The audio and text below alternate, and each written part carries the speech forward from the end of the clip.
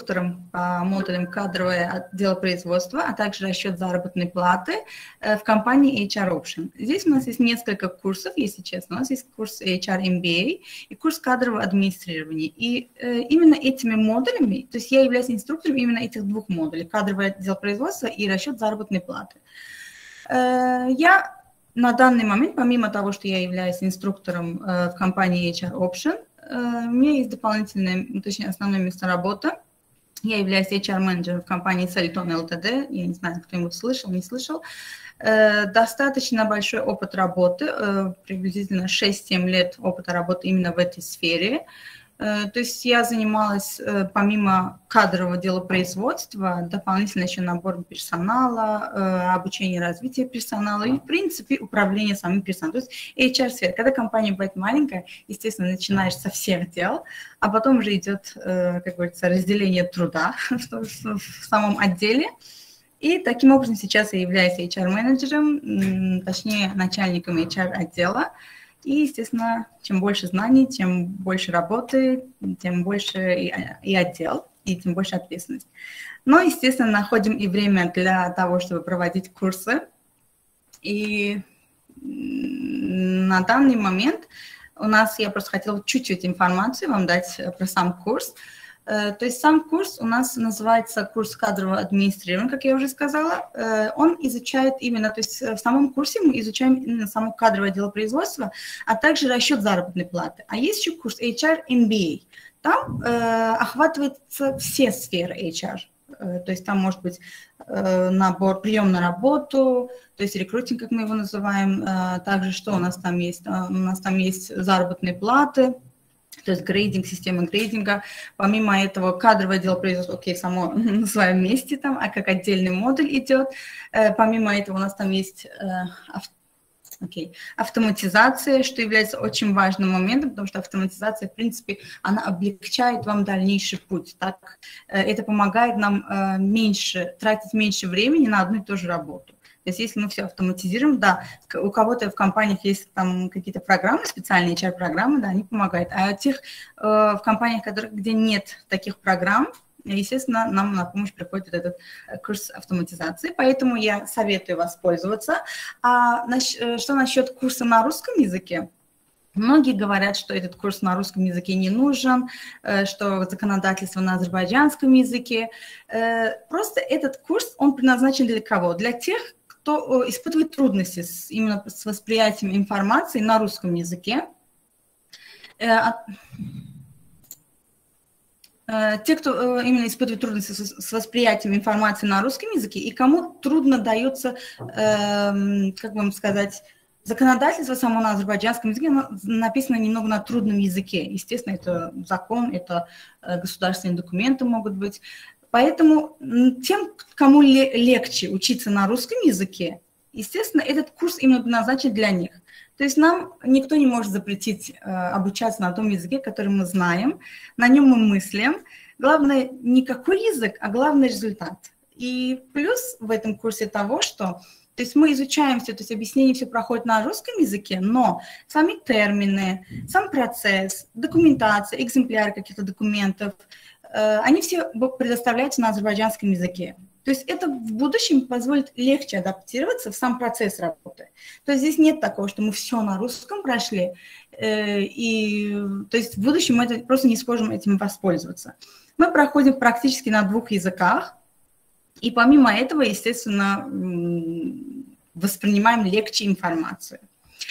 Э, вот так вот, это немного о курсе. Я, то есть тем, кто э, хочет именно начать свою деятельность в HR-сфере, я очень советую, потому что я, в принципе, был период, когда я сама искала курсы для этого, и это для себя я выбрала курс HR MBA, потому что там я просто э, развила то, что я давно, давно, давно забытое, вспомнила давно забытое и, естественно, изучила э, достаточно нового. И я надеюсь, что сегодня на этом мастер-классе многие из вас кто-то для себя, кто-то просто чтобы знать, да, то есть трудовое законодательство как работник. Кто-то именно работает в этой сфере, кто-то хочет именно э, в этой сфере развить себя, то есть у него нет никакой э, практики, хочет именно специализироваться в этой сфере.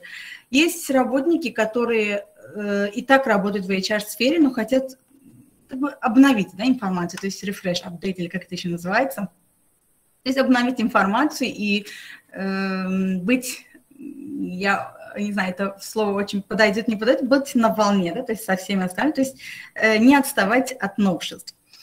Э, то есть наш курс предоставлен именно для этого, и я надеюсь, не на, скажем так, я, э, естественно, участников всегда бывает мало в этой сфере, но да, сейчас уже есть ребята, которые зарегистрировались на этот курс именно на русском языке, и если, естественно, вам сегодня что-то понравится, если вы сегодня Э, вы, скажем так, поймете то, что на русском языке, учиться на русском языке это не так страшно, особенно в сфере законодательства. То есть мы вас рады будем вас видеть на самом курсе. На следующей неделе, дай бог, мы начинаем. Э, если получится, дай бог, с кем-нибудь из вас мы еще там увидимся. А сейчас я просто хочу перейти на сам мастер-класс. Это было немного о самом курсе и немного обо мне. Э, единственное, что я вас попрошу одно, если у вас есть какие-то вопросы, если э, есть какие-то, не знаю, в практике или в жизни вы с чем-то таким встречались, у нас здесь есть пунктик «Поднять руку». Э, вы можете просто поднять руку и спросить. То есть без проблем включить микрофон и спросить. Вопрос задать свой. Итак, вот тема у нас сегодня – гарантии работников, относящихся к особой категории.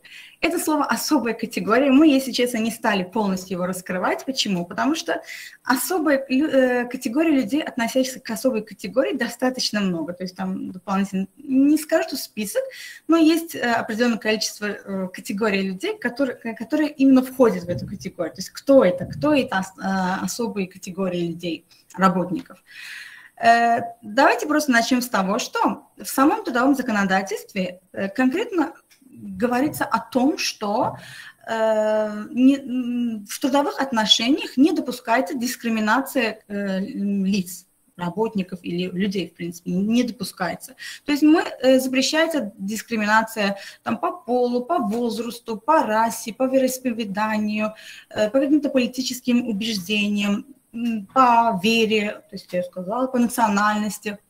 Но э, в этом же трудовом кодексе, э, то есть в самом законодательстве, есть определенная категория лиц, которым применение льгот, применение каких-то особых преимуществ, э, дополнительных гарантий, это все не считается дискриминацией. То есть к этим людям мы можем применять, то есть у них есть определенные преимущества. То есть есть обычный работник, у которого нет никаких льгот, а есть работники, которым э, в определенных сферах самой трудовой деятельности, трудовых отношениях есть определенные льготы. Или, как мы на азербайджанском говорим, имтиаздар.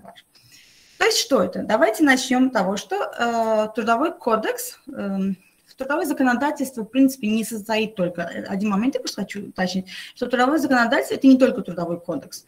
Э, там есть э, нормативно-правовые акты, там есть международные договора, то есть, э, которые ратифицированы азербайджанской, ну, то есть Азербайджаном, э, естественно, Конституция Азербайджанской Республики. Это все включает нас, э, составляет наш трудовой кодекс, трудовое законодательство. И в этом самом трудовом законодательстве вот есть категории людей, э, и сейчас мы просто будем их перечислять. Вот смотрите, беременные женщины, женщины, имеющие детей, лица моложе 18 лет, инвалиды, в некоторых случаях есть ветераны. То есть определенное количество людей, их очень много, и мы на протяжении изучения всего этого законодательства в, в определенных периодах, моментах видим эти э, исключения. То есть нам, например, дается какой-то текст, и снизу пишется такое исключение, что к этим лицам не относится. Э, на данный сегодняшний мастер-класс нам посвящен именно беременным женщинам, женщинам, имеющим детей, э, а также работникам, которые э, младше 18, которым меньше 18 лет, то есть моложе 18 лет. Мы охватим сегодня эту категорию. У нас даже в Трудовом кодексе есть отдельная глава, глава, которая посвящена, одна глава посвящена трудовому праву женщин, одна глава посвящена трудовому праву работников младше 18 лет. Но этим, поверьте, этим все не ограничивается. Да? То есть у нас весь трудовой кодекс, э, в принципе, законодательство, есть моменты, где мы видим раз, различного рода исключения. Мы просто начнем вот, э, с, общих, с, с общих моментов, а дальше уже будем разбирать некоторые моменты, да, то есть где мы видим это исключение. И начнем с того, что вот мы сказали право женщин, правильно? И, и это было кто? Это были беременные женщины или женщины, имеющие ребенка. То есть кто у нас? Обычно это бывает женщины, имеющие ребенка. Мы говорим э, женщины, у которых ребенок не достиг трехлетнего возраста. В основном это касается их.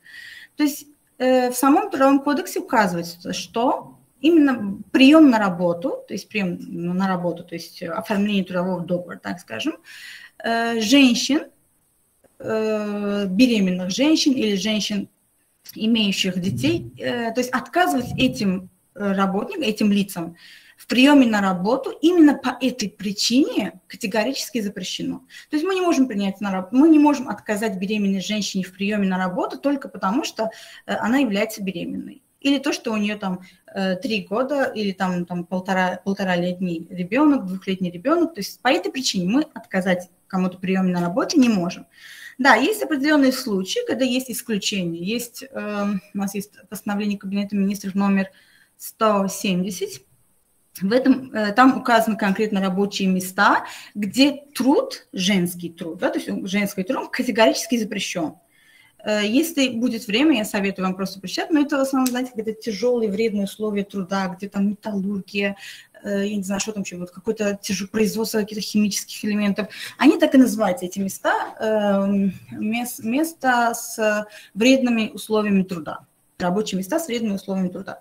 То есть на таких местах, на рабочих местах, э, женщинам работать категорически нельзя. То есть это постановление Комитета, такой огромный такой лист, можно прочитать его. То же самое касается лиц 18 лет. Лица 18 лет тоже не могут работать э, в местах э, с тяжелыми, вредными, опасными э, условиями труда. Тоже есть эм, постановление Кабинета министров, но для 18-летних, это, точнее, для лиц младше 18 лет, это номер 58. То есть для интереса можете просто прочитать для себя. Это, правда, на азербайджанском все бывает. Если у кого-то есть интерес, если у кого-то есть, э, то есть у кого нет трудностей именно э, с, э, как бы, с восприятием информации, может запросто это прочитать для себя. То есть мы сказали, что женский труд э, не применяется на этих местах, то есть именно вредные, тяжелые условия труда. А также есть такие места, э, например, э, подземные туннели, шахты, там же тоже, по идее, там тяжелые, вредные труд, условия труда. В этих местах также категорически запрещено условие женского, э, труд женского труда, использование женского труда. Но если, например, э, вот представьте такую ситуацию, что э, у нас где-то подземные какие-то работы, компании, которые подземные, э, подземные туннели там создает, э, в этих подземных туннелях на постоянной основе, то есть чтобы постоянно там, э, работать именно в этих условиях, женщинам запрещается.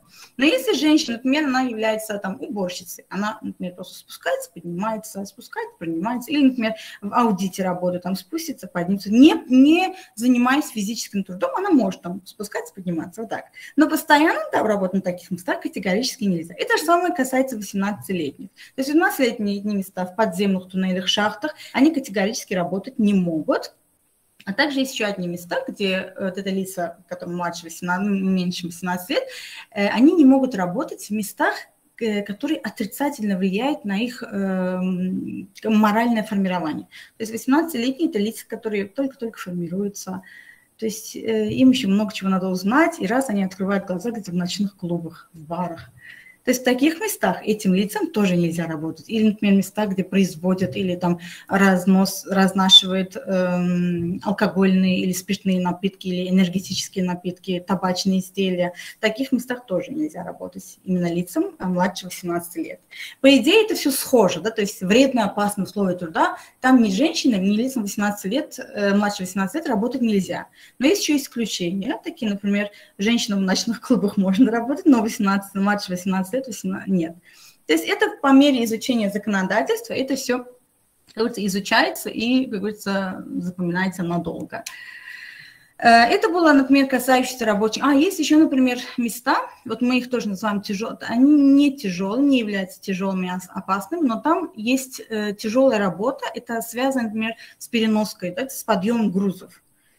Там тоже есть ограничения. То есть на втором плане конкретно есть ограничения, что вот, например, женщина или там, подросток там, 17 лет или до 18, да, то есть они не могут определенное количество груза поднимать. Точнее, э, установлен лимит, это где-то варьируется от 5 до 15 килограмм. То есть э, там зависит от его возраста, того, он мальчик или мужчина или женщина. Э, это мужчина или женщина. То есть в зависимости от этого меняется лимит, да, то есть килограмм 5, здесь 10 и 15. Если и есть кто-то, работающий именно в этой сфере, то есть там, где у них работники работают э, с подъемом грузов, то советую просто прочитать эти статьи. Это, насколько я помню, 37 глава и 38 глава. Просто прочитайте. Там запоминать, естественно, все это невозможно, но э, знаете, что есть такие ограничения, особенно при приеме на работу. А женщинам, беременным женщинам, вообще там участвовать в каких-то работах, связанных с поднятием грузов, категорически нельзя. Вот так вот, друзья. Это было, например, то, что касающееся, касающееся подъема, да, то есть рабочих мест женщин и лиц 18, младше 18 лет. Э, помимо этого, у нас э, есть еще, например, э, вы знаете, да, ночные работы, у нас есть сверхурочные работы, у нас есть командировки. Вот вы, не знаю, может, наверное, многие думают, что в командировку можно любого, можно любого отправить, но на самом деле это не так. У нас есть, опять-таки, та же самая категория людей, работники младше 18 лет, а также женщины. При скажем так, отправки их в командировку, при э, работе в ночное время, сверхурочные работы, работы в выходные, работы в праздничные, э, считающие нерабочими праздничные дни. Э, в эти дни работникам младше 18 лет, а также женщинам, беременным женщинам и женщинам, которые имеют детей до 3 лет, им категорически запрещено это. То есть этих работников вы категорически не можете отправить э, в командировку. Даже если там придет кто-то скажет, что вот мне нужны дополнительные деньги, я хочу в праздничные дни поработать, двойную оплату труда получить, то есть возьмите меня, то есть вот, разрешите мне выйти на работу в праздничные дни, категорически как работодатель вы не должны этого разрешать. Не знаю, может, кто-то в практике у вас это выходит, кто-то, кто как работник выходил в эти дни, да, то есть на работу или в ночное время, но запомните, что это категорически нельзя. И здесь, знаете, как здесь от того, что весь, все трудовое законодательство друг с другом связано, здесь надо, вот, например, сказать про ночное время, правильно? Мы же должны знать ночное время, что такое ночное время. Надо еще изучить, что такое ночное время. Ночное время, это считается с 10 часов вечера э, по 6 часов утра. А, например, у работника, который младше 18 лет, там вообще другое время. Там ночное время начинается с, с 8 часов вечера до 7 часов утра. То есть мы, э, работника, которому 17 лет, э, в 9 часов вечера, то есть не, не должны позволять ему работать до, после 8 часов вечера. То есть здесь такие нюансы есть. То есть здесь все взаимосвязано. Здесь не только просто нельзя, здесь еще надо знать, когда у нас ночное время, сверхурочная работа, что такое сверхурочная, какой максимальный лимит сверхурочных работ, э, сколько мы получаем, сколько мы платим за работу в выходные дни. Это все нюансы, очень важные моменты. И поэтому, когда мы, мы не можем просто одну главу прочитать и сказать, что вот, окей, я знаю все, что касается лиц моложе 18 лет. Все трудовое законодательство так просто взаимосвязано. Э, окей, а еще вот мы сказали то, что нельзя, да, правильно, э, женщин, беременным женщинам э, и женщинам, у которых дети до трех лет, их категорически нельзя. А еще одна категория людей, например, э, женщины, у которых ребенку от 3 до 14 лет, или же инвалиды. Инвалиды тоже относятся, да, то есть как, к особой категории. То есть им, например, чтобы их э, в, в этот, на сверхурочную работу, выходные, в праздничные дни, то, что вышел на работу, нужно, можно только с их согласия. То есть особенно женщин э, в возрасте от 3 до 14 лет. А инвалидов, например, да, окей, инвалидов в сверхурочное время мы можем без проблем, то есть их тут использовать, но в ночное время, чтобы инвалид э, на работу да, привлечь, э, к работе привлечь, нам нужно его обязательно его письменное разрешение. У нас даже есть э, закон э, об инвалидности, насколько я помню, как он точно не помню, как он называется, но там даже все, что связано с инвалидностью, там все указано. И этот момент тоже там э, охватывает, что ночное время только их письменное согласие, и дополнительно еще нужно разрешение там медицинской комиссии, что он мог, может работать в ночное время или нет. То есть вот такие нюансы, когда вот э, мы документацию ведем, когда, в принципе, принимаем на работу. Еще вот момент, то, что и вот инвалиды, лица до 18 лет, у нас э, мы во время курса также проходим применение квот. Не знаю, вы слышали, нет, это лица, которые с, с трудоустройством испытывают трудности.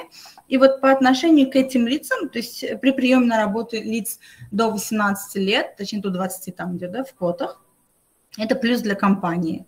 На то, что столько привилегий у этих работников, в принципе, никто особо их не любит, да, принимать на работу, но э, это не совсем правильно, поэтому старайтесь, если есть возможность, если нет никаких ограничений э, с местами работы, то вы сможете без проблем принимать на работу. Тем более просто при приеме на работу э, лиц младше 18 лет обязательно нужно этот, медицинское обследование, то есть чтобы он прошел, что он годен к работе или нет. Э, и, и потом до исполнения 18 лет этот работник каждый год за счет компании, за счет то есть работодателя должен обязательно проходить медицинское обследование. Вот так вот, ребят. Э, на данный момент вот до сих пор то, что мы прошли, есть какие-то вопросы? Может, у какого-то кого-то остались какие-то, кто-то в практике встречался с таким? Что-нибудь было? То есть без проблем можете включать микрофон и спрашивать, задавать вопросы или просто какие-то там э, комментарии делать. Без проблем.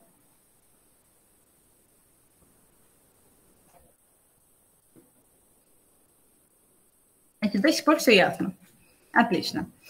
Э, сейчас мы, например, я хочу отметить один момент э, насчет того, э, что вот, расторжение, вот насчет, хотела указать, отметить расторжение трудового договора. То есть есть работники, к этим работникам, то есть расторгнуть их трудовой договор, есть определенные статьи, по этим статьям мы не можем. Например, мы сказали, что женщина, беременная женщина, женщина до трех лет, имеющая ребенка до трех лет. С этими лицами, то есть с этими работниками, мы расторгнуть трудовой договор э, по статье 70 категорически не можем. Окей, как, что такое, что за статья 70?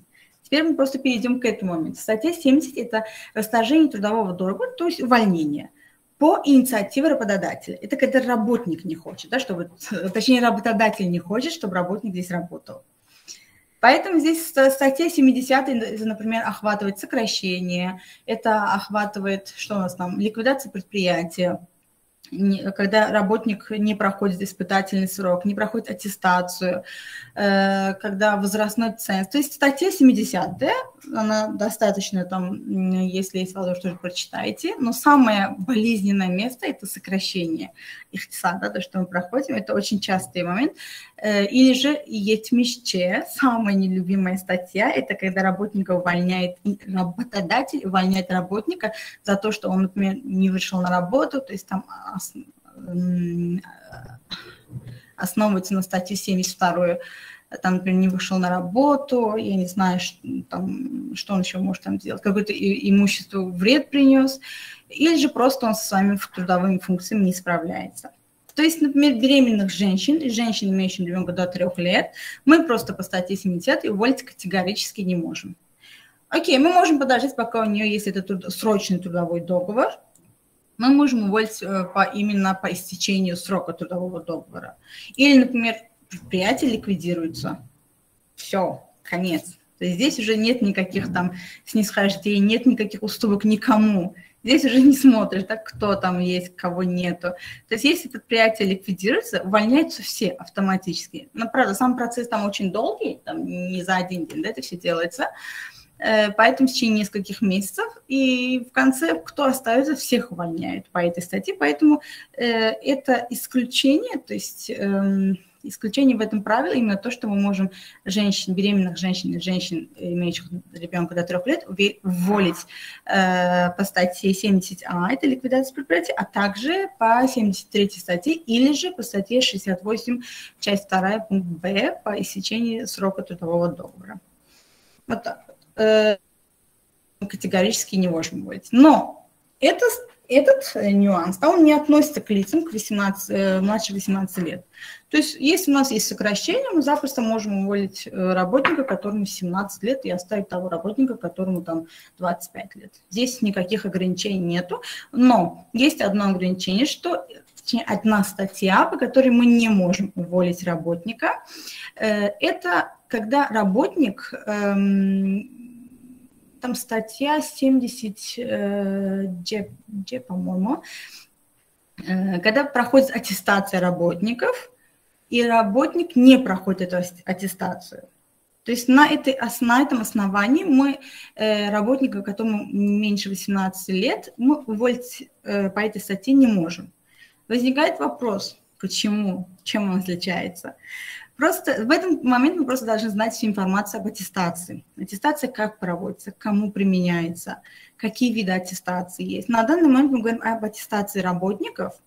Э, правда, это не принудительный процесс, но если работодатель решил провести аттестацию в компании, и если он решил, что все работники будут, э, то есть ко всем работникам это будет применяться, опять-таки здесь есть исключение. Здесь есть исключение, что эти же беременные женщины, эти же в основном работники, не достигшие 18 лет, работники, у которых, которые в этой компании меньше года работают, э, вынужденные переселенцы, э, например, женщины, которые находятся в социальном отпуске и которые, например, вышли на работу, и в течение, вот он вышел на работу в течение года, течение года к ним, к этим работникам, да, то есть они не подлежат аттестации. Эти работники не подлежат аттестации. То есть, естественно, если они не подлежат аттестации, по статье э, не прохождения, то есть э, в связи с тем, что у него недостаточный профессиональный уровень, то есть непрохождение э, аттестации, мы их уволить не можем. Вот такой нюансик есть при э, увольнении лиц, которым младше 18 лет. Вот так вот. Кто-нибудь встречался в компании с аттестацией? У кого-нибудь было такое на практике? Было у кого-нибудь? Будьте поактивнее, если есть вопросы, ответы, без проблем. При приеме на работе тоже. Вот, э, еще, например, э, статья есть э, истечение срочного договора. Лиц 18, не достигших 18 лет, мы их тоже уволить не можем, потому что, в принципе, нет, я очень извиняюсь, эм, не прохождение испытательного срока. Не прохождение испытательного срока лиц, э, не достигших 18 лет, мы их уволить не можем, потому что э, с ними, заключая договор с лицами, не достигшими 18 лет, мы Э, испытательный срок, например, не применяем. То есть мы для них не устанавливаем испытательный срок, их просто там сразу принимаем на работу. Естественно, по статье непрохождения испытательного срока мы его уволить, этого работника, тоже не можем. Вот такие маленькие нюансики есть. Как вы думаете, какие еще есть э, так, льготы или преимущества этих работников? Кто-нибудь еще встречался с такими моментами?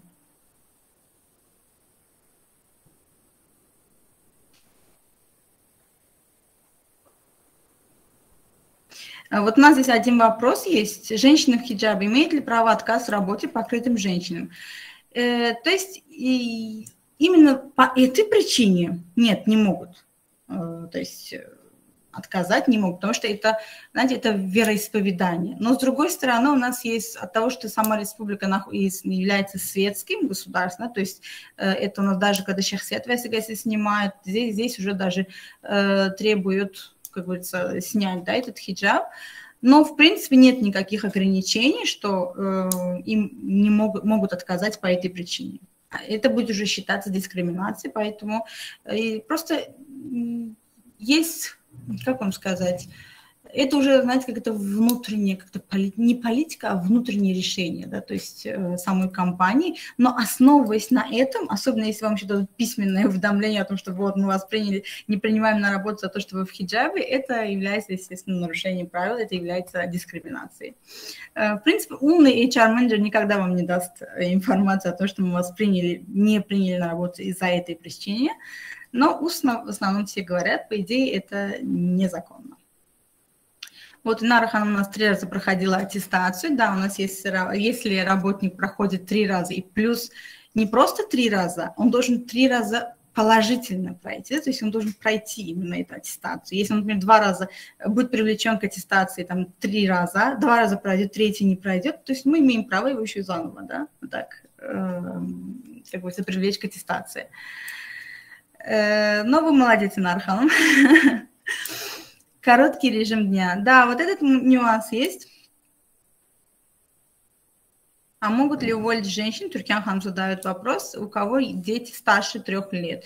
Да, у нас есть ограничение только до трех лет, или же вы, вы должны будете заново, как говорится, в социальный отпуск выйти, э, или получить статус беременной женщины, чтобы заново как бы, этими льготами, преимуществами воспользоваться. А старше трех лет, да, в принципе, могут. Здесь нет никаких ограничений.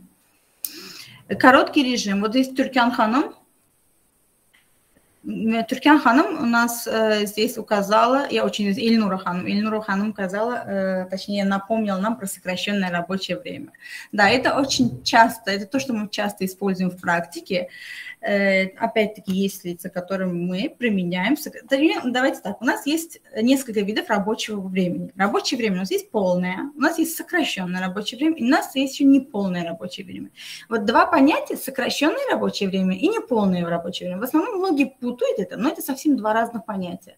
Сокращенное время, оно э, предоставляется работникам в связи с какой-то причиной, то есть там должен быть возраст, условия труда, здоровье, вот что-то там должно быть, это какие-то особые ситуации должны быть, чтобы мы работнику применили сокращенное рабочее время. Это кто может? Смотрите, мы сказали возраст. Это работники до 18 лет. Да, это именно тот момент, когда э, у этих работников тоже есть э, преимущество. Здесь, но здесь тоже делится. Здесь есть работнику, э, то есть от 15 до 16, то есть так как мы начинаем, то есть раб, э, гражданин Азербайджана может, в принципе, работать, начать работать с 15 лет, то есть минимальный возрастной ценз – это 15 лет, то есть с 15 до 16 у нас э, максимальный лимит времени за всю неделю, да, 24 часа всего. То есть он за, все, все эти, за всю неделю может работать 24 часа, и в этом случае максимальный э, дневной лимит – это у нас получается э, 4 часа. А для работников это от 16 до 18 лет, или, например, еще есть инвалиды первой и второй степени. Здесь не просто инвалиды, здесь, ну, знаете, здесь дележка идет, да? То есть здесь инвалиды первой и второй степени, это более тяжелые. К ним это применяется тоже сокращенное рабочее время. Беременные женщины, женщины, имеющие, но здесь уже не до трех лет, здесь до полутора, до, до полутора лет, да, то есть до полтора года, э, до, до полутора лет э, ребенку. Этим лицам мы конкретно применяем сокращенное рабочее. Правда, есть должности, которые мы применяем рабочее, сокращенное рабочее, например, врачи, э, или, например, кто у нас там может быть, э, кто у нас есть. Э, я вот точно сейчас не могу вспомнить, но э, но в основном это касается врачей. А, и точно. Еще лица, у которых, э, которые работают в вредных условиях труда, то есть опасных вредных условиях труда. Этим работникам обязательно применяется сокращенное рабочее время. И нюансы этого заключаются в том, что, вот, например, мы сократили вам рабочее время, например, норма на 40 часов, правильно, в неделю. Если мы работнику, к работнику применяли сокращенное рабочее время и установили ему рабочее время 36 часов в неделю, уменьшается на 4 часа, по идее, правильно? Э, но э, заработную плату этот работник получает такую же, что и получал прежде. То есть э, за то, что мы ему сократили рабочее время, мы ему не можем сократить заработную плату. То есть заработная плата при сокращенном рабочем времени остается той же, что и при полном рабочем времени. А в неполное рабочее, когда применяется неполное рабочее время, там уже что? Там у нас уже э, заработная плата может или окей, полностью оставить ее, или же может в зависимости от отработанных, фактически отработанных часов. То есть мы заранее договариваемся, что окей, не 8 часов, за 8 часов вы получаете 1000 манат, за 4 часа вы получаете 500 манат. Это две, две разные категории, поэтому сокращенное рабочее время и эм, неполное рабочее время, это категорически путать их нельзя. Э, вот так вот. Оплата труда, окей, мы сказали, что работу их не трогаем, заработную плату их не трогаем. Сокращ... У работников, которым применяется сокращенное рабочее время, они полное, да. Здесь у нас что было? Сейчас я только вопрос прочитаю немного.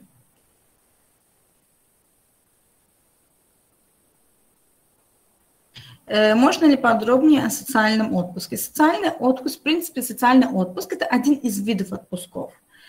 Э, это, да, это то, что касается наших, в основном, женщин. Это отпуск по беременности и родам, э, а также, как мы его называем, гисмен частично оплачиваемый социальный отпуск. То есть у нас есть этот эм, социальный отпуск по беременности и родам, он Э, оформляется на основе, ну, всем, наверное, я не знаю, кто слышал нет, э, на основе больничного листа. Хасталиверегасы или, я не знаю, бюллетень, как мы его только не называем. Э, то есть на основе этого документа мы работнику можем, работник может выйти в социальный отпуск по беременности и родам. То есть социальный отпуск сам по себе делится. А есть еще социальный отпуск, когда по уходу за ребенком до исполнения трех лет. То есть ребенку исполнилось 3, 3 года, да, правильно, его социальный отпуск заканчивается. И наступает он э, после того, как заканчивается, то есть заканчивается время больничного листа. Закончилось время, окей, работник может выйти в, э, в частично оплачиваемый социальный отпуск, может просто выйти на работу. Но в период э, социального отпуска по беременности и родам категорически запрещен труд этого работника. То есть нельзя, да, то есть если он на больничном находится, сам больничный лист – это э, документация того, что этот работник недееспособен, то есть он работать не может. И поэтому применять труд этого работника категорически нельзя. Вот. А социальный отпуск работник, например, может выйти обратно там, выйти на работу, выйти в отпуск через месяц, потом обратно. То есть как хочет, он в течение, да, пока не исполнится ребенку три года, он может пользоваться этим отпуском. Да, Туркянхан, у нас у вас вопрос. Вы можете включить микрофон, задать без проблем. Добрый вечер. Спасибо, вы все подробно объясняете. Спасибо. Вас очень приятно слушать. Я хотела спросить, э, то есть еще есть отпуск больше трех лет, когда по уходу за ребенком, то есть какие-то есть исключения по медицинским показаниям. Э, можно ли подробно, то есть на сколько, на какой период это и э, в каком, то есть за сколько надо предупредить об этом работодателя? Окей, okay. здесь знаете как? Нет, что здесь, здесь знаете как? Здесь у нас есть социальный отпуск. Социальный отпуск до трех лет. Но то, что вот вы говорите, до еще на год, да, то есть можно продлить, это что? Это когда э, есть медицинское заключение о том, что ребенку нужен дополнительный уход, тогда этот период, но это уже будет просто неоплачиваемый отпуск. Э, статья 130, насколько я помню, вы можете просто там прочитать, там именно написано, что до исполнения ребенку 4 лет. Вот 4 года исполнилось, здесь уже все, то никаких больше ограничений нету. То есть на год, еще дополнительно на год, но это уже будет не социальный отпуск, а это будет уже неоплачиваемый отпуск. То есть работник приносит э, информацию, то есть заключение, медицинское заключение о том, что это ребенку еще нужен уход, и работодатель обязан будет просто выпустить работника в, социальный, э, в неоплачиваемый отпуск, еще дополнительно на год. Бывает случаи, например, и, например, если вам дополнительно еще время нужно, вы можете с работодателем договориться еще дополнительно на полгода, там, не знаю, есть возможность, да, дополнительно на полгода еще в неоплачиваемый отпуск уйти. То есть, опять-таки, все, ну, все зависит от того, насколько у вас, эм, скажем так, лояльное руководство. Э, но если вы предоставите, опять-таки, эту бумагу, медицинское заключение, вам в любом случае должны дать этот э, срок до исполнения 4 лет. А потом уже то есть социальный отпуск на, на пока, как только исполнится ребенку три года, он заканчивается. Дальше уже неоплачиваемый отпуск. Да, Туркихан? Э, я извиняюсь, уточню. А вот, например, вы, сегодня, вы как работодатель сегодня меня увольняете. То есть, ну, предупреждаете о том, что э, у вас в планах меня уволить. И mm-hmm. если я на... Ну, я уже вернулась после трех лет на работу, да, то есть я выхожу mm-hmm. на работу, уже ребенку три года, там, предположим, 10 дней. Вы меня оповещаете о том, что хотите меня уволить. Э, с завтрашнего дня, если я приношу эту справку, то есть она уже коррелируется или нет? Если вы приносите, знаете, эту справку получить, поверьте мне, не так легко. Если вы ее принесете, да, вас выпустят неоплачиваемый отпуск. Так как э, в неоплачиваемом отпуске э, трудовой, расторгать трудовой договор категорически нельзя, потому что его не бывает. Фактически этого работника не бывает на работе. Поэтому, э, если, опять-таки, если вы сможете на год, да, тем более это очень серьезная документация будет, ее не каждый врач, это не просто там справку, там или что-то. Э, это серьезный документ, если вы ее привезете, да, то есть работодатель вас просто выпустит в неоплачиваемый отпуск. По идее, работодатель ничего не теряет в этот момент, потому что он просто вас, вам за этот период просто не будет платить деньги, он ничего не теряет здесь.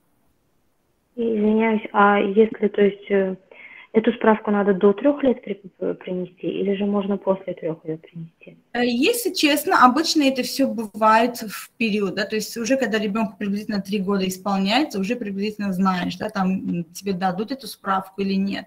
И обычно это бывает эм, в периоде приходишь, точнее под конец, когда уже исполняется три года, да, вот в этот момент приводишь и информацию даешь о том, что вот э, есть такая ситуация, и я продлеваю свой этот не социальный отпуск, а просто выхожу в неоплачиваемый отпуск. То есть обычно это должно Спасибо большое. друг за Не за что.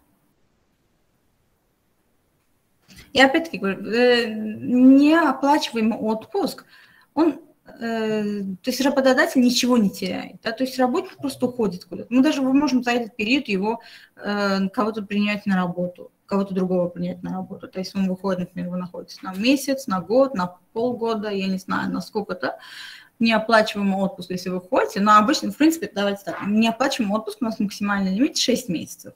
Но вы можете, например, на 6 месяцев взять, потом один день выйти на работу, потом еще раз на 6 месяцев выйти. То есть это уже зависит от того, как, как вы будете договариваться со своим э, работодателем. Но есть такая возможность, и работодатель ничего не теряет. Он не платит там налоги за вас, он не платит вам заработную плату. Вы просто у вас числитесь э, как работник, и на ваш штат, пока вас не будет, могут просто принять какого-то другого работника.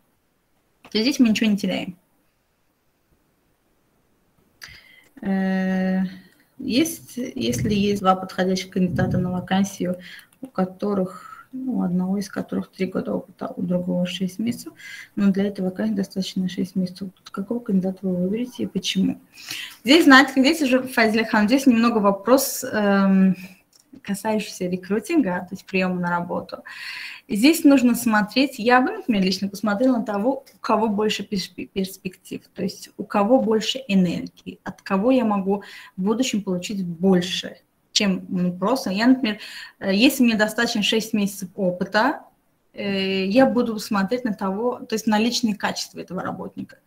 Если, мне, если я установила 6 месяцев стаж, опыта, то есть если мне он достаточен, дальше я уже буду смотреть, то есть что этот работник за, свой, за свои 6 месяцев сделал, чем он интересуется, что он хочет, в принципе, что он планирует. То есть на собеседованиях, когда э, то есть проходит само собеседование, оно же во всех сферах, ну, то есть мы охватываем все вопросы, все сферы. И у кого больше энергии, у кого больше желания, что для меня например, желание – это самое, я скажу, основное, потому что человек, который хочет что-то, он его добьется, если он достаточно этого хочет. Поэтому я бы, я бы э, посмотрела на того, у кого больше энергии, больше опыт, не опыта, а именно желания. Я бы выбрала этого кандидата. Шесть месяцев вышел в отпуск, потом можно выйти один день на работу, потом опять выйти на работу, тогда я за один день работы. Да, обязательно за один день работы обязательно нужно дать заработную плату. То есть э, не, э, нельзя, да, то есть категорически нельзя работник вышел на работу и не оплатить. То есть не оплачивать заработную плату нельзя. У нас есть такой момент, что э, в, э, даже при ликвидации компании, даже, я не знаю, самых, даже если у работ, работодателя нет денег, я не знаю, у него какой-то банк, что-то с ним случилось, в первую очередь именно вот гарантия оплаты труда, ну так и, типа, насколько я помню, название статьи, гарантия оплаты труда.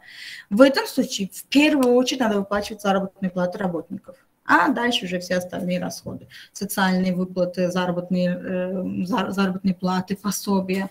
Все, что есть, это является первоочередностью. Да? То есть в первую очередь надо именно это выплачивать. А дальше уже остальные все выплаты.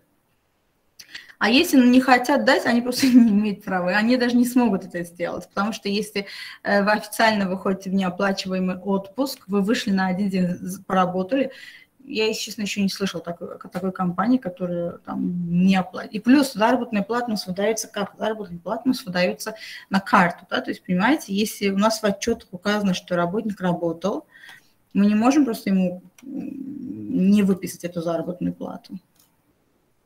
Заплатить, просто продлить отпуск. Но знаете как, у нас в э, законодательстве 129, да, кстати, это самое частое, да, то, что мы используем.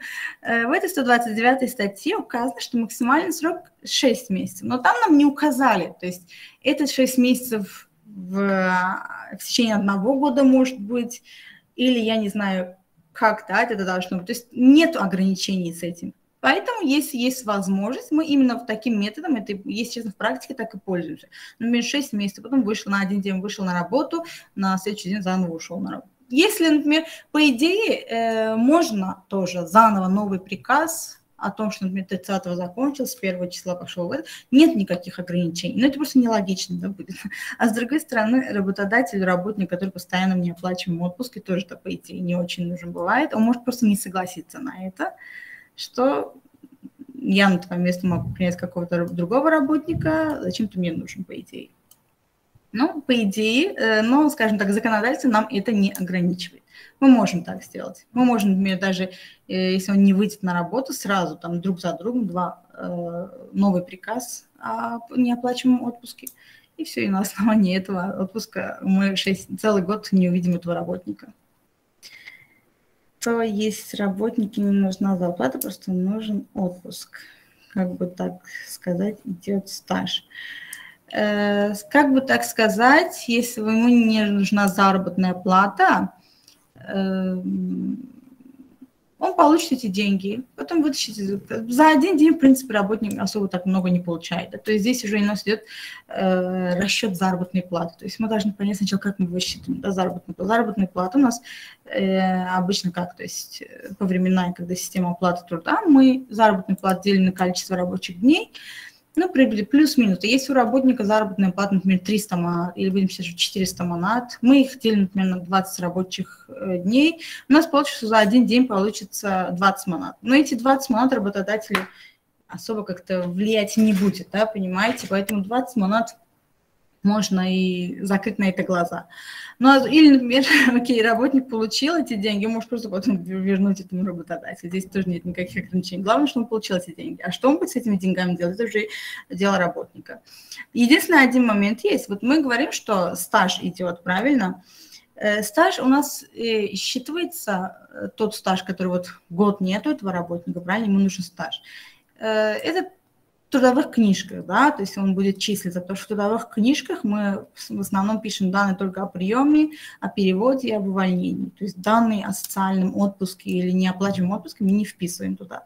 Поэтому, например, если вы уволитесь с одного места, пойдете на другое место работы, э, новый работодатель не увидит, да, то есть сколько вы там были в неоплачиваемом отпуске, а сколько вы работали. То есть в этом плюс. Но есть еще социальный стаж, то есть э, во время неоплачиваемого отпуска – работник и работодатель, то есть они не оплачивают эм, эти удержания, да, то есть налоги зарплаты, то есть э, выплаты в ДСМФ, пенсионный фонд.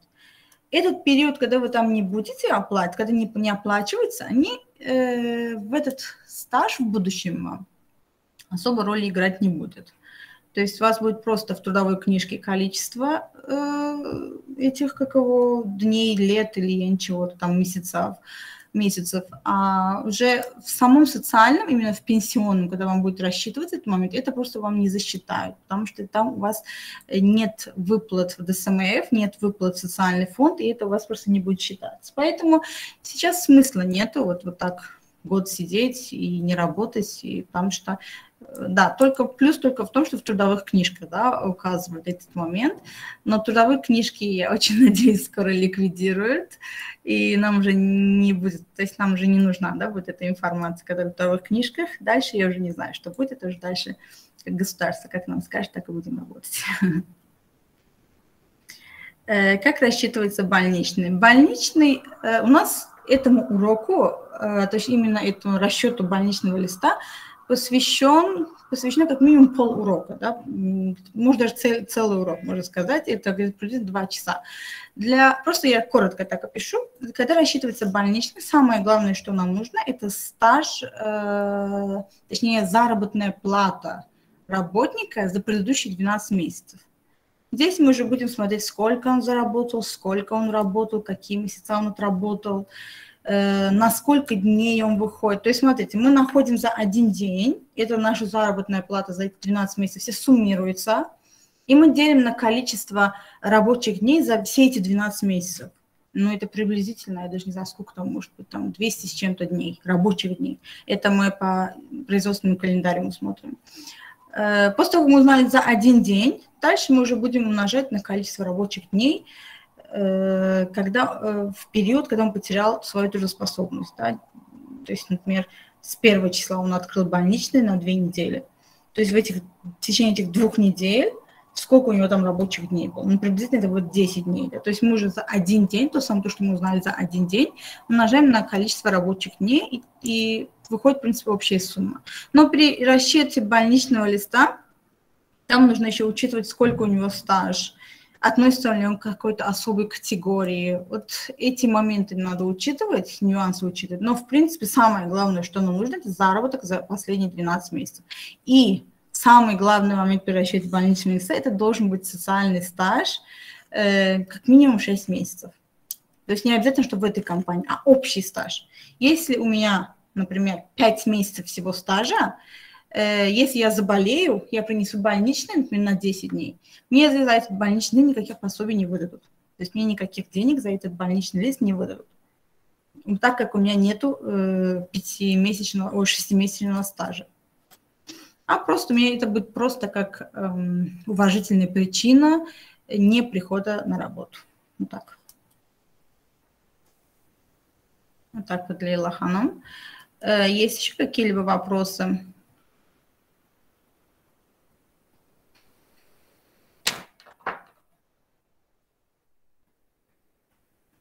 Мы затронули э, тему отпусков. Я бы еще хотела один момент уточнить, да, вот, точнее, так, отметить, что э, при, при приеме на работу, окей, каждого у работника то есть возникает право на отпуск.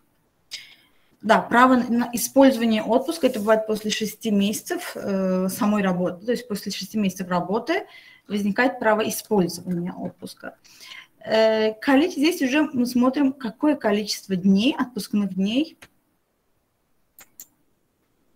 какое количество отпускных дней мы э, предоставляем этому работнику. Лицам, например, э, опять-таки здесь идет категория, да, у нас, например, трудовой, а мы сейчас говорим о трудовом отпуске, потому что отпуск, в принципе, делится на неоплачиваемый, социальный, эм, как он называется, учебный отпуск и трудовой отпуск. Самый частый это трудовой отпуск. Трудовой отпуск э, сам состоит из основного и дополнительного. То есть основной отпуск мы поняли, там 21 или же 30 дней, в зависимости от того, он специалист или нет. А есть еще дополнительные отпуска. И вот наши, вот касающиеся нашей сегодняшней темы, это дополнительные отпуски женщинам, у которых, у которых есть дети. То есть если у работницы нашей, да, в данном случае работницы, э, есть два ребенка, как минимум, да, два должно быть, э, до 14 лет. Если, например, ребенку 13 лет, или там одному 13, другому 12, или сколько, до 14 лет, тогда мы дополнительно предоставляем дополнительный отпуск э, на два дня. То есть если он, например, специалист, HR-специалист, да, будем говорить, HR-специалист, у него два ребенка, и до, два ребенка до 14 лет. Этому работнику мы даем 30 плюс 2. То есть 30 за то, что он специалист, а 2 за то, что он является, скажем так, у него есть преимущество, он является женщиной, имеющей двух детей до 14 лет. А если у меня три ребенка, ну и больше, да, будем так говорить, или же, например, у меня э, есть ребенок с ограниченными возможностями здоровья, у нас, э, если у меня три более э, детей или же ребенок с ограниченными возможностями здоровья, то есть, скажем так, инвалид, да, ребенок, тогда этому же работнику, этой же женщине предоставляется 5 календарных дней. Здесь у нас один вопрос, э, независимо от стажа, дополнительно два дня. Да, это э, дополнительно отпуска у нас бывает за что? У нас бывает за э, стаж работы, у нас бывает за условия труда, и у нас бывает за количество детей. Да, женщина, если есть женщины, имеющие детей. Это такая категория. Три к три. Если у каждого, например, здесь два, здесь там шесть, здесь пять, это все суммируется и прибавляется к основному трудовому отпуску. То есть представь себе такую ситуацию. Я работаю, у меня, я являюсь специалистом, я, у меня основной трудовой, основной да, трудовой отпуск 30 дней. Э, помимо этого у меня там 15 лет стажа за то, что у меня там за стаж у нас как идет? 5, 10, 15 лет. 2, 4, 6 дней. То есть за 15 лет мне дают 6 дней стажа. Э, это сколько получается? 36. Помимо этого, у меня, например, еще трое детей за, до 14 лет, да, учтем это. До, э, трое детей до 14 лет, за это плюс еще 5 дней, это сколько получается? 41. И плюс я еще, как я не знаю, на каких-то условиях, вредных условиях труда или что-то там какое-то, да, там условия э, труда, за это мне еще предоставляется, например, минимум 6 дней. То есть это все суммируется, и, я, и это получается сколько? Давайте посчитаем. 41 плюс 6, сколько делать? 47. То есть у меня за год я могу на 47 дней отпуска, на 47 дней выйти в отпуск, трудовой отпуск. Здесь, то есть независимо от стажа, независимо от чего-то, мне дается вот э, мои дополнительные трудовые отпуска. Но это только женщинам, э, имеющим детей до 14 лет. И плюс, например, 2021 э, год, ребенку исполнилось 14 лет, а я, например, выхожу в ноябре. Например, в марте ему 14 лет исполнилось, а я выхожу в отпуск в ноябре. Этот период будет длиться до конца календарного года. То есть ему даже если исполнилось 14 лет, до, до конца года, если я возьму трудовой отпуск, то мне эти плюс 2 считается. Но уже, например, год закончится, 2022 год, то э, я уже лишаюсь этого права, так как у нее остается один ребенок до 14 лет, это, то есть это дополнительный отпуск я уже не получаю. Э, а, например, лицам, э, которые младше 18 лет, к ним уже немного другая ситуация применяется. Здесь как? Здесь у нас все варьируется, на, точнее, все базируется на а, основном отпуске. Здесь у них, вот смотрите, в обычной ситуации у нас основные отпуска, это было что? Это 21 день или 30 дней. А если э, работа, здесь, знаете, как здесь в зависимости от физиологического состояния, в зависимости от физиологии, мы лицам, которым младше 18 лет, э, выдаем от, основной отпуск больше, чем, больше 30. В данном случае, если работнику э, от 15 до 16 лет, вы помните, ему сокращенное рабочее время на 24 часа в неделю применяли, дополнительно ему еще э, полагается 42 дня основного отпуска. А если ему, например, исполнилось с 16 до 18 лет, тогда мы ему уже 35 дней основного отпуска применяем. Или инвалиды. Инвалиды тоже, по идее, относятся к категории там, особых, э, особых работников. Им например, у них трудовой отпуск 42 дня. И им уже никаких дополнительных отпусков не даем. Вот у них 42, дня, да, то есть и без разницы, у него там 10 лет стажа, у него там, не знаю, трое детей, пятеро детей, здесь нет уже. Если этот работник инвалид, или если он ветеран войны считается, или э, если ему там младше, там, сколько там, младше 18 лет, тогда у него конкретный трудовой отпуск. Дальше уже никаких дополнительных трудовых отпусков не дается. Вот это льгота. Даже вот, например, помните, сказали, что э, предоставление трудового, да, порядок э, предоставления трудового отпуска, первые, он должен 6 месяцев проработать, чтобы получить э, отпуск, использовать отпуск за первый рабочий год. Дальше уже окей, дальше по согласованию, то есть по, по взаимосогласию работника и работодателя. А вот работникам, которым, которым младше 18 лет, им не надо ждать этого, этого, этих 6 месяцев. Он может просто обратиться к работодателю, что вот я хочу э, выйти в отпуск, и работодатель должен быть ему дать возможность воспользоваться этим правом. И то же самое э, касается женщин, э, которые, но здесь условия есть, да, то есть женщины до и после социального отпуска, то есть сразу или до социального отпуска, или после социального отпуска. То есть здесь за первый рабочий год этот работник может, то есть не дожидаться да, 6 месяцев самой работы. Может сразу попросить, например, проработал месяц, пришел, что окей, я хочу в отпуск. И здесь уже вы будете высчитывать, да, если хотите полностью дадите, хотите там высчитывать, сколько ему полагается, сколько за, ему, за месяц полагается, и так выдавать ему трудовые отпуска. Вот так вот.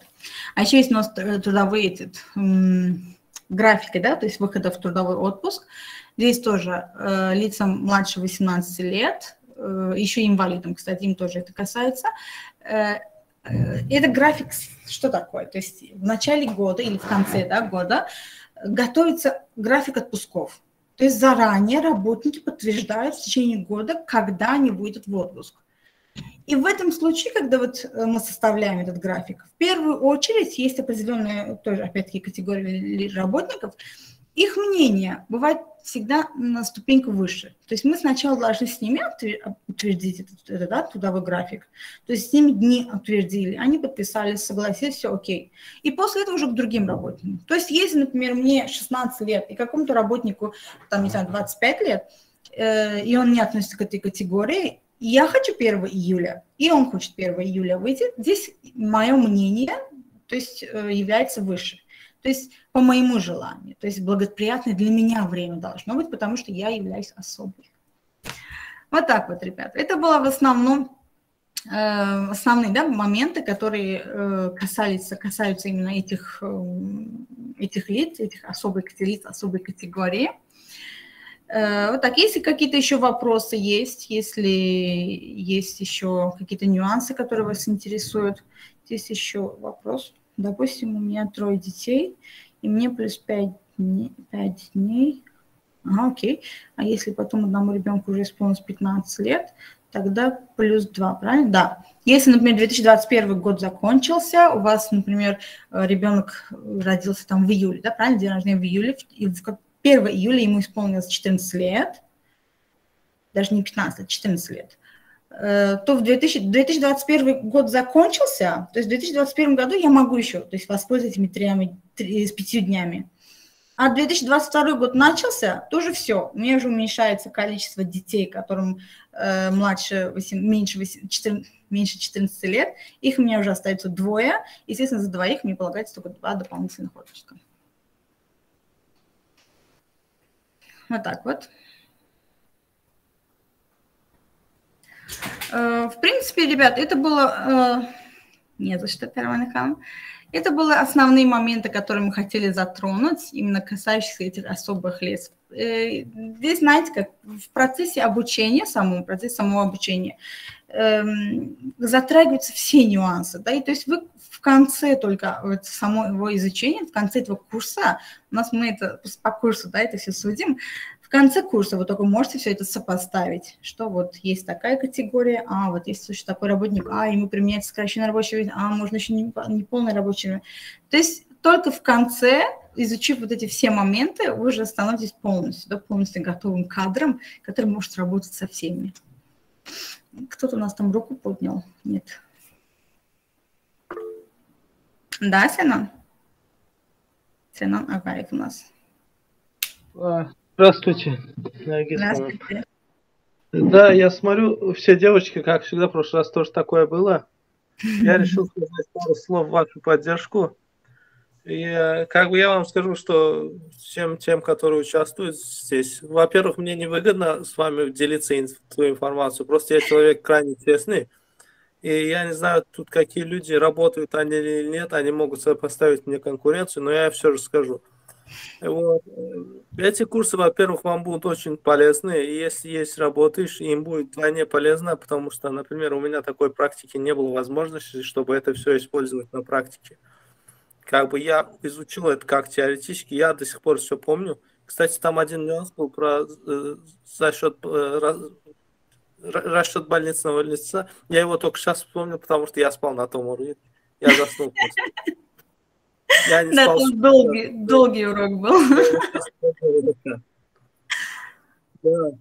Вот так вот. Я Спасибо, советую да. всем подписаться и участвовать в этих курсах. Думаю, что вам будет полезно. И я, может быть, там на рынке какие-то другие курсы, может, круче, лучше, но я вам конкретно говорю, что Наргиз Ханом, если вы там начнете курсы, даже вы, если ленивые, как я, вы много чего там научитесь, и ваши деньги не пойдут зря. Спасибо большое. Спасибо большое, Сянан, огромное спасибо. Сянан является участником нашего первого курса, то есть на русском языке «Баллон». Э, хоть он и говорит, что там ленивый или что, но поверьте, он участвовал на всех уроках. Есть, правда, уроки, где требуют больше внимания, есть немного чуть-чуть темы, которые могут просто не заинтересовать, но хоть вот он и говорит, что он ленивый, но он достаточно информации, да, мне кажется, что он узнал, что, и он в прошлом даже ваша вот эта э, фраза о том, что не только работающий в этой сфере, а в принципе каждый человек это должен знать. Каждый человек должен знать свои права, как работник, как работодатель, как HR-менеджер. Спасибо вам огромное, Тяна. На самом деле, ваши вот сейчас слова мне очень приятно. Огромное спасибо. И на самом деле, вот, Спасибо. Есть еще вот момент, когда вы параллельно еще работаете, это есть возможность использовать это в практике. Э, в будущем, кстати, вот, например, у нас есть видеорекординги каждого урока, видеорекординги урока каждого проходят, и эти рекординги у вас, в принципе, по жизни, да, остаются. В будущем, если, например, вот Сянан сейчас, у него есть эти видеоуроки, он, дай бог, устроится на работу, и он, когда будет какая-то тема, во-первых, он может просто обратиться ко мне, Сянан, в любое время, вы знаете, как говорится, хайтер визучок стиля, а, и дополнительно, помимо этого, у него еще будет видеорекординг. Он может открыть в любой момент. В любой момент вам мы мешаем вас. Но ну, вы спасибо, отделяете ваше время. Абсолютно, поверьте, вы мне не мешаете. У нас есть своя WhatsApp-группа, где мы вопросы, какие-то обсуждения проводим. Курс закончен, но мы все равно активны, да. И то есть, если есть какие-то вопросы, здесь даже не только, да, у нас такая система, в принципе, в HR что вы нашими учениками, не то что учениками, в будущем, возможно, мы будем вместе где-то коллегами работать. Поэтому вы считаетесь уже нашими, понимаете? И поэтому, если есть какие-то, если мы можем чем-то помочь, наша цель здесь какая? Э, поделиться своими знаниями, э, чтобы э, то есть какая-то польза, понимаете, что и момент того, что я могу кому-то пользу принести, момент того, что кто-то может что-то выучить, и в будущем наше общество может просто этим просто развиться, это, это очень большой плюс, это э, очень приятно бывает и поэтому, если есть какие-то вопросы, даже если мы чего-то не знаем, поверьте, бывают такие моменты, какие-то очень нюансы, такие каверзные вопросы бывают, мы, мы их просто вот везде узнаем, расспрашиваем, у коллег узнаем, э, у инспекторов там ММФ шли узнаем. То есть мы везде все это раскрываем, ищем и находим ответ, потому что это в будущем и вам понадобится, и нам понадобится. Поэтому не пожалеете, на самом деле не пожалеете, даже если вы не работаете в сфере, а те, кто работает, это вообще очень нужный момент, что можете э, в практике это все использовать.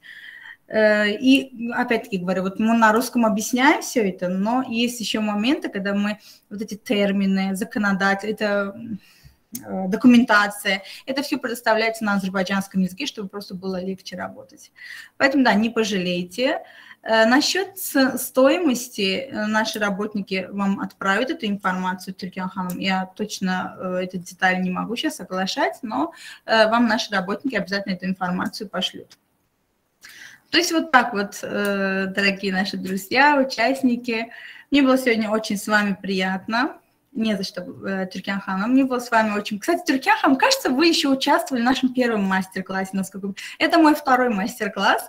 Э, в этот раз у меня чуть-чуть меньше волнения, чем в первый раз было. Э, но да, Тюркян Ханом, я, кажется, помню. Кажется, вы участвовали у нас на том мастер-классе. Да. Вам спасибо, ребят, спасибо огромное. Если вот у нас наши работники указали вам номер, можете туда обратиться в случае чего. Да, я очень надеюсь, да, вот какой-то познаватель, я очень надеюсь, что хоть кто-то что-то новое узнал, кто-то что-то вспомнил, хоть какой-то плюс мы за этот час приобрели. Поэтому спасибо еще раз вам огромное за то, что вы меня, кажется, одну здесь не оставили, поддержали своим присутствием и плюс за, за эти вопросы. Огромное вам спасибо. Если будут какие-то дополнительные вопросы, естественно, вы можете опять-таки по этому номеру обратиться, и мы, даже если вот вы не запишете на курс, даже если какие-то будут нюансы, вопросы, что чем-то мы можем помочь, мы, как, в принципе, как компания HR Option, мы, можем, мы стараемся помогать, да, потому что э, все мы в какой-то степени коллеги. Поэтому обращайтесь в случае чего. Спасибо, спасибо, Тюркян Хану, очень приятно, спасибо.